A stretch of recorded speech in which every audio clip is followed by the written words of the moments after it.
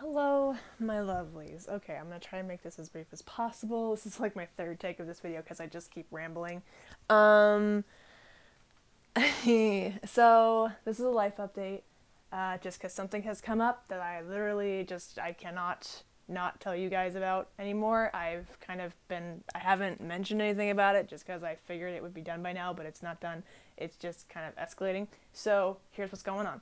For those of you who remember, uh, at the end of last year, my dad had a stroke. Um, um, not not horrible. It wasn't a bad one, um, but it it did do some damage. Um, so he's been home for about six, five or six months now.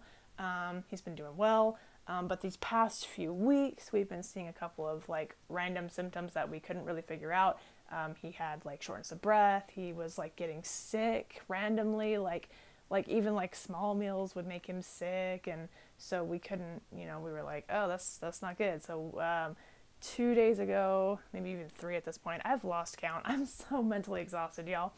Um, so my dad had a doctor's appointment. He brought it up to the doctor. Doctors ran tests. Lo and behold, they wanted him to go to the hospital. I was kind of prepped for that. I figured it'll just be like a day thing. You know, they'll come back later on that night.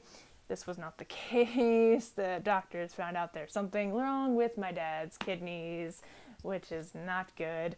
Um, he's been on dialysis for two days now, um, so he hasn't been home. He's he's in the hospital again. Uh, it, it's and I I can't really uh, I'm gonna get heavy here for a second and be honest with you guys because I feel like I feel like I should because you guys are my viewers. So I guess that's why I don't exactly sound super chipper right now. Um, but these past few days have been really hard for me because I feel like I'm reliving the same nightmare of having my dad not be home. Um, he'll be home. I don't even know when. Soon, hopefully. We thought it would be today. Now we're thinking it might possibly be tomorrow maybe even Tuesday. We are literally not sure. It keeps getting extended. Um, so that's why I haven't been uploading.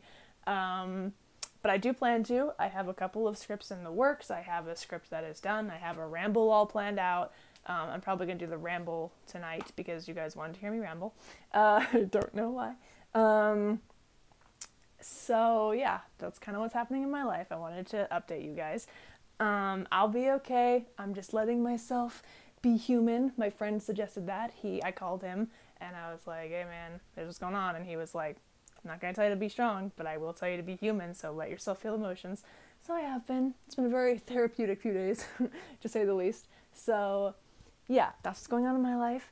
Um, I'm still going to be uploading. I just don't know how frequently. Um, until my dad gets out of the hospital, it's going to be kind of play it by ear. If I have free time and I think to record, I will do it. Um, you know, so we'll see. I'll try to upload as often as I can. Um, until then, I love you guys. I appreciate you guys. Thank you so much. Mwah. Love you. Peace.